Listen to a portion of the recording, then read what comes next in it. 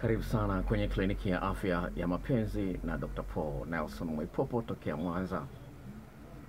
Siku hii ya leo nakuletea mada inayosema mke mwenye kisimi kidogo na yule mwenye kisimi kikubwa, yupi ambaye analowesha godoro haraka zaidi anapopizi? Well, hii kama kliniki ya afya mapenzi inaangalia maeneo mbalimbali ambayo yanasababisha mtu ajione hafurahii mahusiano ya kimapenzi zaidi yale ya kitandani na yale mengine vile vile. Kwa hiyo nimekutana na swali leo kutoka kwa dada wa miaka kumi na saba. Binti huyu amenisikiliza kwenye kipindi cha Radio Free Africa kinachorushwa kila siku ya Jumatatu saa sita za usiku. Binti wa miaka kumi na saba ameleta swali linalosema kwamba dokta, inakuwaje mimi binti wa miaka kumi na saba ninapokuwa nimebanwa na haja ndogo, nikiwa najizuia nisije kujolea, napata nyege nyingi sana. Nikamuuliza, je, una kisimi kikubwa? Akasema kisimi ni nini? hiyo tuko tuna chat naye binti, sawa, yuko Mbeya. Akasema kisimi ni nini? Hii ikanionyesha kwamba kuna ujinga mwingi sana miongoni mwa akina dada wanaokuwa na hata wengine ambao wameshakuwa. Sasa kama uh, sexologist mtaalamu wa mambo ya seksi na vile vile mshauri vile vile, lazima niliangalia hili na kuliweka wazi katika jamii ili uweze kulielewa kwamba linapaswa liangaliwe kitofauti. Hebu mwanamke unanisikiliza sasa hivi hapo, unaotazama sasa hivi, hebu fikiria kama mwanaume angeambia wachague achague kati ya mwanamke mwenye kisimi kikubwa na yule mwenye kisimi kidogo, angechagua yupi? Kama vile nyinyi wanawake ungeambia uchague mwenye dudu kubwa refu na yule mwenye dudu fupi, mnaita kibamia, ungechagua yupi? Mwenye dudu jembamba kama penseli na yule dudu nene kama tango, ungechagua yupi? Kwa hiyo katika mazingira kama hayo, kwamba kama mwanamke anaweza akachagua ukubwa wa dudu la mwanaume, kadhalika mwanaume akipewa nafasi ya kuchagua eh, mwanamke mwenye kisimi kikubwa na mwenye kidogo, atachagua yupi? Sasa huwa sipendi kuongea kitu ili mradi nimeongea, naongea kitu baada ya kufanya tafiti. Huku wenyewe ni kwamba kuna wanawake ambao wanajisikia vibaya kwa sababu wana kisimi kidogo, kama vile wanavyojisikia vibaya wenye matiti madogo. Sasa anajiona sio wa kawaida akiona wenzio na visimi vikubwa. Sasa unaweza kusema kisimi ni nini? Unaweza kuwa ni mmoja katika moyo dada aliyeleta mada hii. Kisimi ni nini? Kisimi ni sehemu ambayo ina sura ya kiharage. Unajua harage, mbegu ya harage, sawa? Inakaa juu karibiana kwenye mavuzi pale, iko juu, sawa? Sawa. Sasa sio rahisi kujiandaa ku- ku- kuonyesha hiki kitu. Ukifikiria kwa mfano kama kama kama kama hili ni tundu la uke, sawa? Kama hili ni tundu la uke, sehemu ya juu hapa ya ya sehemu ya juu kuna mashavu ya uke, sawa? Hiyo ni mada nyingine. Kuna mashavu ya uke, kuna wengine hawana mashavu kabisa, wana tundu tu limezibwa, lakini kuna wengine wana mashavu, unaweza ukayafunua hivi, si masikio, si kuna uke ambao una masikio wengine una mapazia. Sawa, sio mapazia, I don't know. Iteje, lakini oh, oh. Sasa a- a- mwanamke anapokuwa amelala sawa, anapokuwa amelala sehemu ile ya juu kalikuja kwenye mavuzi hapa juu sawa, kwenye muunganiko wa yale mashavu ya uke. Kuna kisimi. Sasa kile kisimi kimefunikwa. Sawa, kama mkono wangu sawa, so unaona nimevaa hii jaketi na mikono mirefu, kwa hiyo huu mkono umefunikwa. Sasa kile kisimi kinakuwa kimefunikwa sawa, kinajitokeza kidogo hapa mbele sawa, kinatokea inaona kinatokea kama hivi, unaona eh? Sasa kuna kwa kuna vingine kinakuwa kime- kimechomoza tu kidogo, kuna ingine kako ndani kidogo imefunikwa, kuna ingine imetoka kabisa hivi. Sasa kuna aina fulani ya fisi anaitwa spotted hyena, yeye ana kisimi kirefu zaidi ya mboo. Sasa ni aina fulani ya fisi. Sasa aina huyu ya fisi anaonekana kwamba ana nguvu sana na anawatawala wanaume. Ni aina pekee, na kisimi kirefu kinafanana na uume wa mwanaume, yaani ni kirefu kweli. Ni aina moja, sio mfisi wote.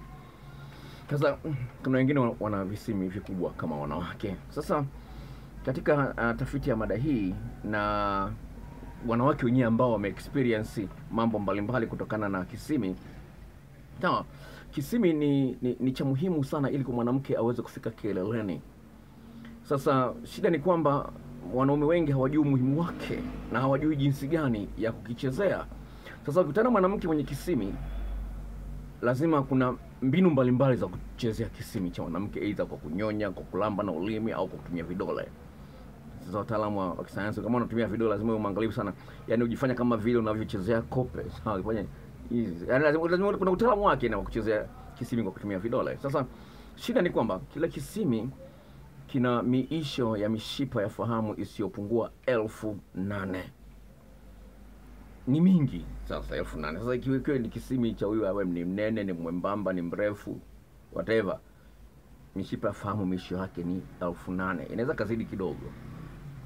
Sasa mwenye kisimi kidogo ile miisho ya mishipa fahamu inakuwa imebanana sehemu ndogo sana. Yaani kama vile chu, nani kwenye umeshapanda lifti chumba cha kinachopaswa kiingie eh, wafungwa watano ukaweka vifungwa ishirini wanabanana mno sawa. Sasa kadhalika mwenye kisimi kidogo ile miisho ya mishipa inaitwa nerve endings.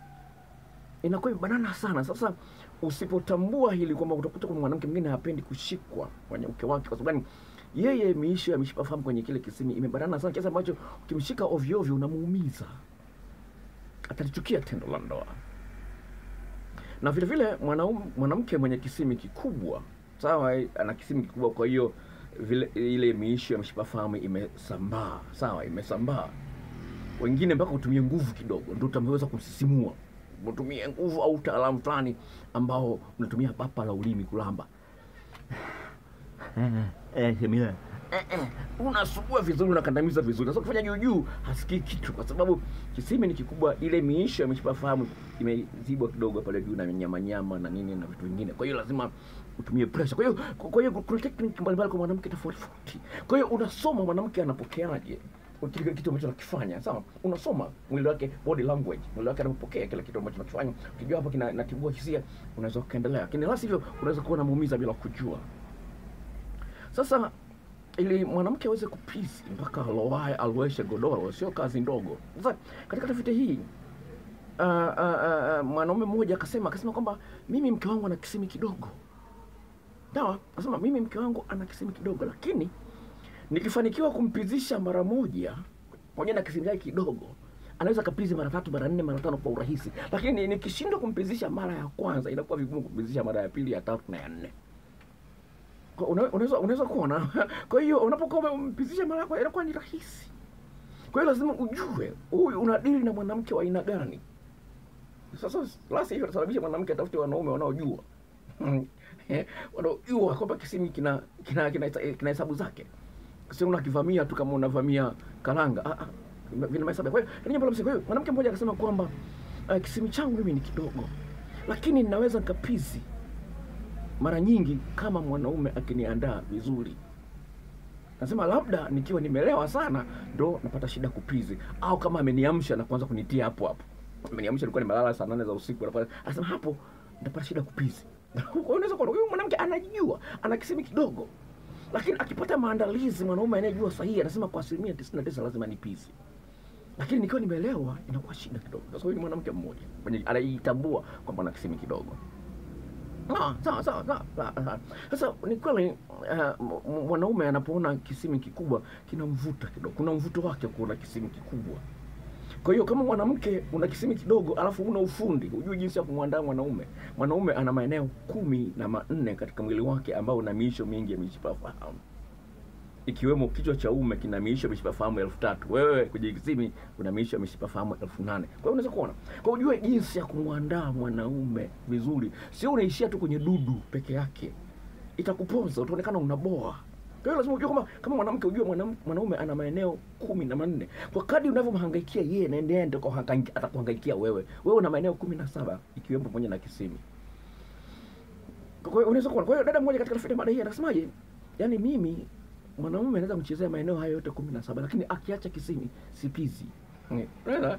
Sasa hivi nataka anichezee maeneo mengine na kisimi kiwe in the mix. Yaani kiwe kwenye mseto kama ni mseto mna makande humo kuna karanga mna marage, mna mahindi. Sasa lazima kisimi kihusishwe ili nisikie raha. Sasa tafutilie, Bado kwambia wanawake wanaonisikiliza. Nawaambia naongea sayansi jamani, sawa? Tuelewane, siongea disa paka napanda kama wengine wanaopigia porojo tu. Sawa? nakwambia kwambia sayansi, sawa? Naambia sasa shida iliyopo ni kwamba iwapo umbali uliopo kati ya tundu lile ambalo mwanaume anaingiza dudu lake na kilipo kisimi ikizidi sentimita mbili na nusu, mwanamke huyu atapata shida kupizi. angalia kama unafahamu Kiingereza, angalia kwenye Google distance between V and clit, utakutana na hicho kitu, utapata ushahidi kwamba sio ongea disa paka na panya. Kwa hiyo ni jambo la msingi ufahamu kwamba haya mambo yapo. Sasa um, katika rifati madimu um, mwanamke mmoja akasemaje, mimi naona kisimu changu ni kidogo, lakini ninapokuwa nimepata nyege kinakuwa sensitive sana.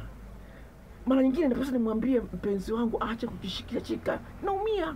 Unaweza kuona kwa kuna wengine wanaumia, anavumilia tu mpaka tafuta, najua kukilamba sawa sawa, pole pole baby, pole pole, eh, hapo hapo eh, umepatia umepatia, inawezekana. Sasa wewe mwingine ukitaka kumwambia bwana, kisimi changu unakiumiza, anakuwa mkali, hataki kuambia ukweli kwamba hajui.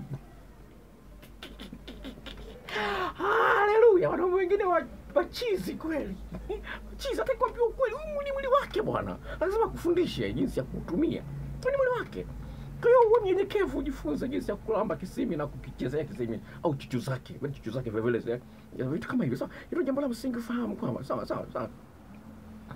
Sasa kwa sababu kisimi changu anasema napata shida kufika kileleni kwa sababu hiyo. Sawa sawa. Kwa sababu kisimi kidogo kinakuwa very sensitive. Sawa. Sasa katika mwanamke mwenye kisimi kikubwa, mwanamke mmoja akasema amesema nina kisimi kikubwa lakini siko sensitive sana, lakini msimko sana. Sawa, sasa inaniudhi kwa sababu gani? Nikilambwa na mwanaume siwezi nikafika kileni kwa urahisi. Kwa sababu gani? Kisimi kikubwa, mi, miishi ya mishipa fahamu imesambaa sana. Kwa hiyo ufundi tena penyewe vile vile kufikisha, sio kwa sababu na kisimi eh, kikubwa ndio utafika kileni kwa urahisi, inategemea na ufundi wa mwanaume. Sawa sawa sawa, sawa. Mm, So kwa hiyo ulifa. hilo. Sasa kwa kumalizia, kuna vitu ambavyo sipenda kuviacha hapa. Ah, Kwa kumalizia, napenda kuambia kwamba kwamba sawa sawa. Kama nilivyozungumza mwanzoni kwamba hiki kisimi huwa kinajifunika kinaitwa hudi sawa? Yaani kama hivi nimezungumza sawa? Mhm. sawa unaona? Unaona? Unaona? Yaani inaweza ikawa kimejifunika kinatoka kinatoka kinatoka kinatoka kanche kadogo sana sawa? Sasa unaona hii ni hudi Yaani hili hii jacket sawa? Ni kama hudi sawa? Kama sasa kanatokea kakisimi kadogo sana. Sasa huyu mwanamke anasemaje? Anasema hivi anasema na kisimi kidogo ambacho kinajificha chini ya ile hudi sawa kama ile gari unapo- unapowekea petroli unafungua alafu unaziba nini hiyo ni hudi sawa sawa asema inajificha ndani ya ile hudi sawa sawa asema hivi siwezi nikapata msuguano mzuri mkubwa kwenye mkao napokuwa mimi nimelala chini au napokuwa nimelalia tumbo ananiingilia kwa nyuma inaitwa cowgirl style kuna mikao mingine utapata shida unapokuwa na, na kisimi kidogo kuweza kupata msuguano mpaka ukafika kileni ukaloanisha godoro.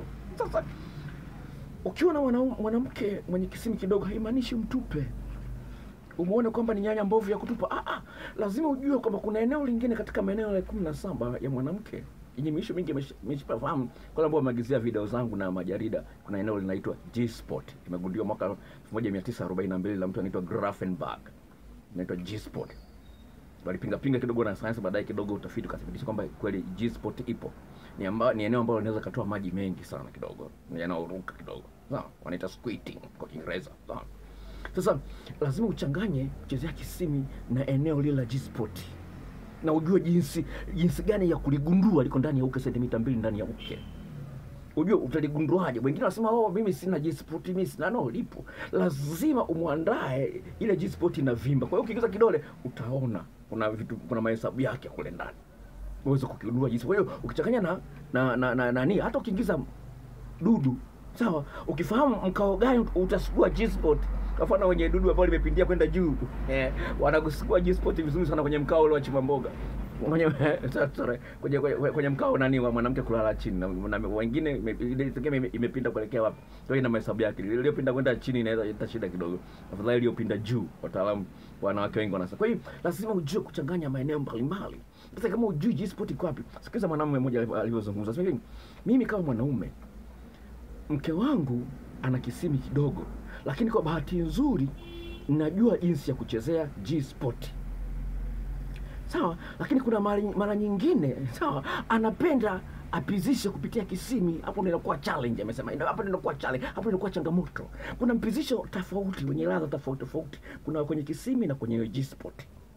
Sasa ukisipojua kwamba hapa nimempizisha vipi hapa ni kwenye G-spot au ni kwenye kisimi, alimpizisho huu ni kwenye kisimi au kwenye kwenye G-spot, utaliwa Kwa sababu gani? Wewe mwanamke atakumbuka kuna mpenzi wake wa zamani alikuwa anajua jinsi ya kumpizisha kupitia G-spot.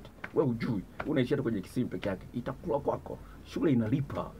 Mambo ya shule ni muhimu sana. Sawa sawa sawa. Kwa unaweza kuona huyu mwanaume anasema kwamba kwa sababu mke wangu ana, ana, ana, ana nikichanganya na G-spot anafika kilele sana, lakini anapotaka apizishwe kupitia kwenye kisimu, hapo ndio inakuwa changamoto, kwa sababu kisimu chake ni kidogo. Sawa. Eh, sawa sawa sawa. Mwanamke mwingine akasemaje? Akasema kwamba sawa sawa. Eh, ah, mwanamke mmoja akasema Akasema kwamba nampenda mwanaume ambaye yuko tayari kunisikiliza ninachomwambia ili akifanyie kazi. Sawa. Dada mmoja akasema kwamba nina bahati mume wangu anajua kutumia G-spot ambayo inasababisha nipizi haraka. Haleluya! Kwa haya ni mambo ambayo yanawezekana. Kwa hiyo usimwone mwanamke mwenye kisimi kidogo kama kimeo. Shule iko hapa, hebu angalia na video mbalimbali hapo chini, orodha ya video. Kwenye video zangu nyingi nimeweka orodha ya video mbalimbali na majarida ya jinsi ya kufahamu G-Sport ikoje. Hayo yote yanawezekana. Kwa kuna mikao gani inafaa zaidi, yote hayo yapo ndani ya kliniki ya afya mapenzi. Tuwasiliane kwa namba ifuatayo. Shilingi elfu kumi unalipa, sio bure. Kama unataka bure, nenda kwa padre asiye- asiyekuwa na mke akufundishe. Okay, namba ni hii hapa, sifuri saba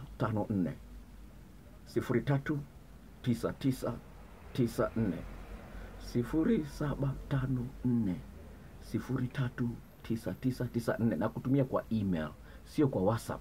Sawa, kutumia WhatsApp tunamgaia rafiki yako, na mimi tutapata wapi pesa? Ndio naniweka hapo ofisini shilingi elfu kumi shule inalipa. Namba ya simu ni hii hapo, unalipa kwa M-Pesa. Ukitaka ya Tigo ya Airtel nitakupa hii namba, iko WhatsApp vile vile 0754 039994 0754 9994. Kama unaangalia video hii kwa mara ya kwanza, jisajili ili nitakapoweka video mpya upate taarifa haraka sana. Kwa heri, asante kwa kuniangalia, bye.